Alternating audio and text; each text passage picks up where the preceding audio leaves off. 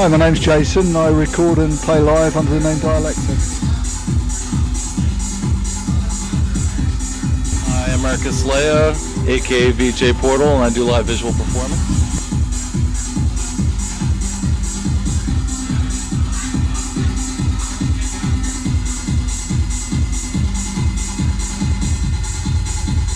I've been doing music since since the early 90s really.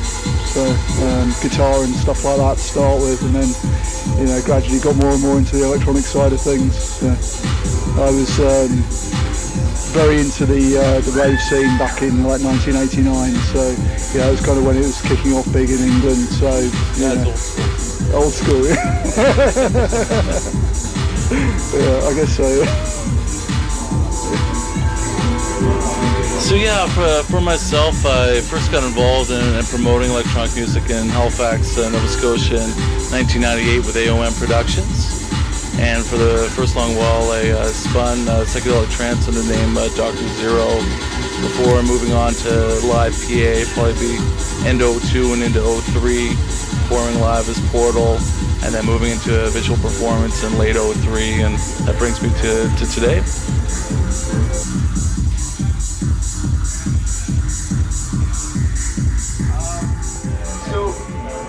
What is the biggest draw to you guys uh, when it comes to live PA? I think for for me, it's like um, before I was into electronic music, I liked. I was very into jazz and rhythm and blues and like you know live bands. So um, putting that together with electronic stuff, you know, having that live, kind of creating something in the moment thing, you know, that's that's what appeals to me about it, you know. So I, I just think that. Um, it kind of depends, but like when you're doing live PA, you can have a lot more control over all the different nuances of the performance, you know, in a way that you you don't really have that same amount of control if you if you're DJing, you know, if you're playing records, and uh, you know, I mean, you can, you can do a lot of stuff with that, but you've got, you know, you've got like pre-mixed records basically, you know. So so if you're doing it all with with um, like synthesizers and samplers and stuff, you've got a lot more control over all the different elements, you know and you can you know if you're doing it in a kind of live way you know you can you can make it so it's different every time you perform it you know. So that that really appeals to me and I, have really enjoyed seeing other people doing that you know people like uh, you know Orbital 808 State um, you know bands like that. Uh, Richie Hawtin when he's doing Plastikman you know that kind of stuff. So yeah that kind of stuff is really really influential. How about you well, yeah, the, the control is definitely a big part of it, just like Jason mentioned. The also, uh, also the big thing too is that with live performance is the sense of intimacy that you really have with the crowd, and you really have the opportunity to have that two-way interaction, and also three-way interaction between the music and the media, the crowd and the performers on stage, all blending together and becoming one.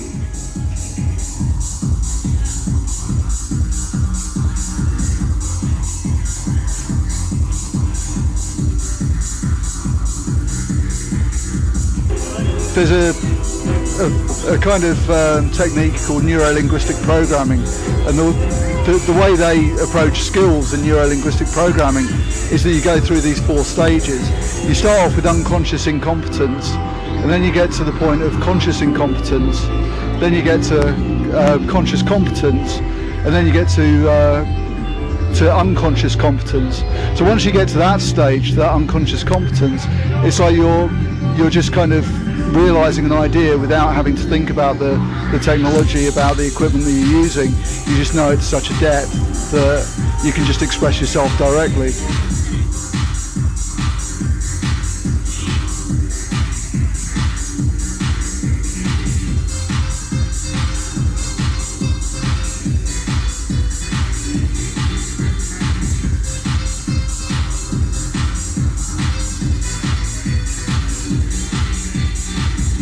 My, my piece of advice for anybody that's interested in getting involved in live performance, especially with electronic music, is to, to start small, acquire the gear you can, software, whatever tools you want to use that you can, and really take the time to know the equipment you have very, very well. It's not about the gear, it's really about how you use it and how well you can use it to express what you want to express.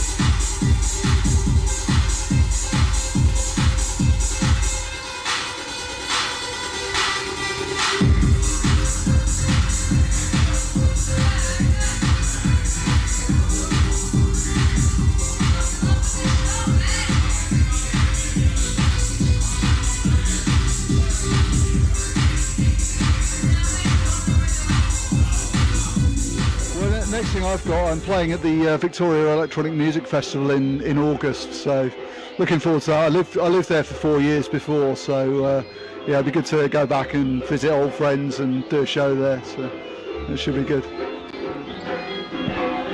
Yeah, Jason should have a lot of fun in Victoria. Looks like uh, I'm going to be working with uh, Weep of Mine Eyes, which is uh, the act of Michael Weicker, who's the host of Electronic Music Calgary that did the event tonight. Looks like we'll be doing a show again, play mid to late September, early October along those lines. Hopefully we'll be working again together late in the fall as well.